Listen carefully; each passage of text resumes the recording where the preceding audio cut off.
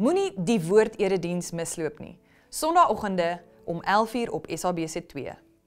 Om by te dra tot hierdie bediening, SMS die woord na 49724. Goeiedag en baie welkom hier saam met ons by ons oordeenking tyd saam. Ons kyk na hoe lyk 'n geesvervulde, totaal toegewyde, geesvervulde volgeling van Jesus se lewe.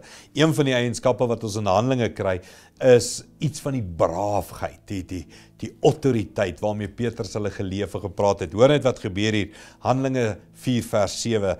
Hulle het toe die twee apostels voor hulle laat bring en hulle onder druk gesit met die vraag: Deur watter krag en in watter naam het julle dit reg gekry? Toe het Petrus vervul met die Heilige Gees vir hulle gesê. Nou, die antwoord is o, hy stry oor wie's Jesus en die krag van Jesus. Wat hier gebeur het, hulle het 'n wonderwerk gedoen.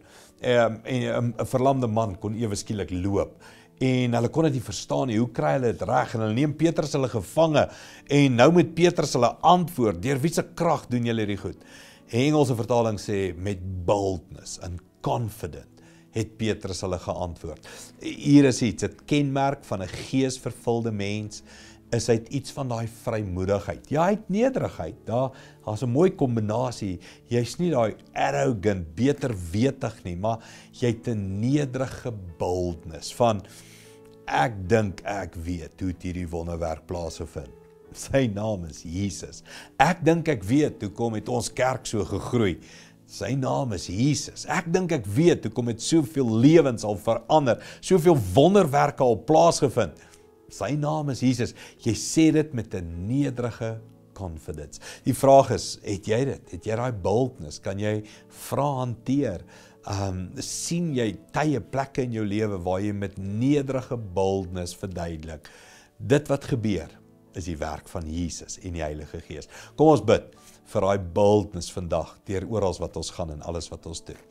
Hemelse Vader, dankie dat die Heilige Gees ons vrymoedigheid gee, boldness gee om te getuig dat alles in ons lewe kom van God af, alles kom van Jesus af. Here, maar dit gee ons ook daai nederige boldness, nie nie arrogansie nie, nie 'n beter wetigheid nie, maar 'n baie 'n baie liefde, sensitiwiteit vir mense wat soekend is vir die lewe van Jesus. Dankie daarvoor, Here, vul ons vandag met die Gees en gee ons die boldness van die Heilige Gees. Dankie daarvoor in Jesus naam. Amen. Goed gaan, sien jou weer.